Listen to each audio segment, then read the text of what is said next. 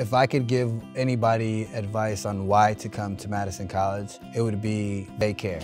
And the reason I say that is because of my past experiences with all the teachers and mentors that I've had here on campus.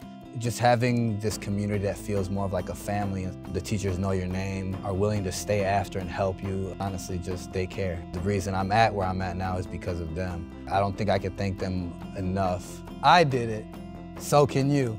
Your future, your campus.